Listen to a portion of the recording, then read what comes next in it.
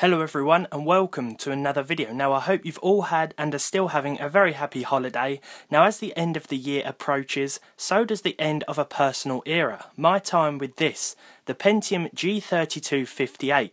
Some of you may know that I upgraded to an i5 4460 that I found for £90 a few weeks ago, but the Pentium has continued to be part of my main build on occasions.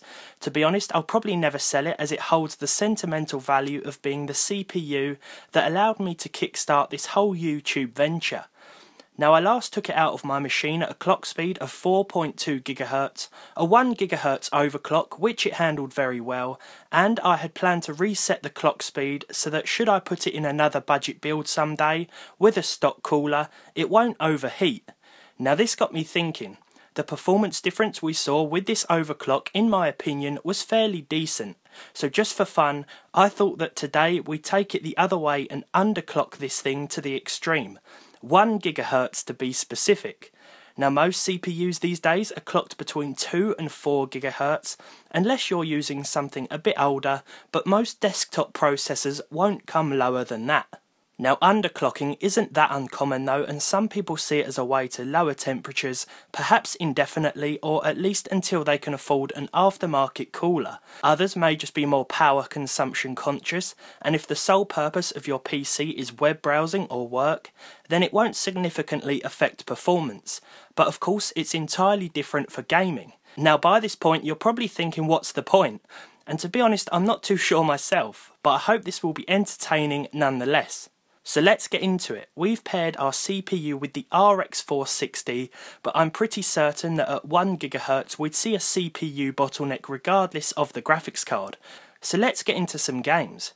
We'll be showing you the underclocked gameplay footage, but including the results from our CPU at stock speeds, as well as at 4.2GHz at the end of each clip for a comparison.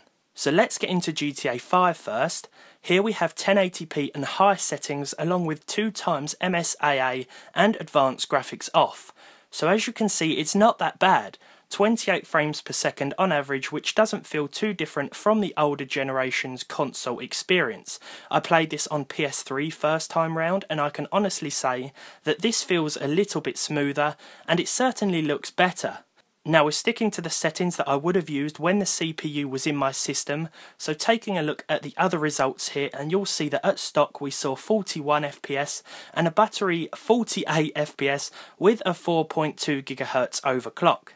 Next up it's The Witcher 3 which was quite concerning to think about but in practice fared fairly well.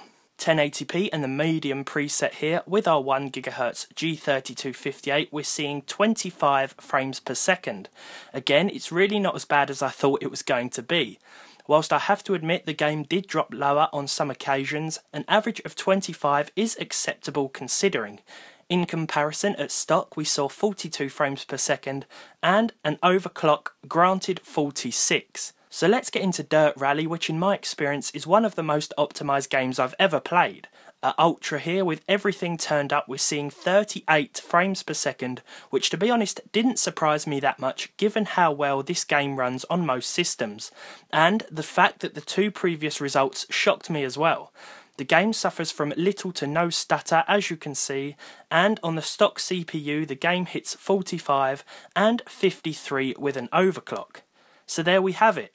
Honestly, we could go all day, and the results, in all likelihood, would be closer than you think each and every time, even with those more CPU intensive titles. As I said here, the point was pure curiosity, and I've seen a couple of other videos similar to this, but never with a more budget based CPU. Nevertheless, I hope this was an entertaining video and a fitting send-off for the G3258 processor. I'll be using it in benchmarks on occasions, and this will now hold a special place on a specially built shelf. So guys, thank you so much for watching. I hope you enjoyed this sort of little look back as well as extreme underclock of the G3258 CPU. If you enjoyed this video, leave a like down below, leave a dislike if you didn't, subscribe to the channel if you haven't done so already, Continue having very happy holidays, a great new year if I don't speak to you before, and I will see you all in the next one.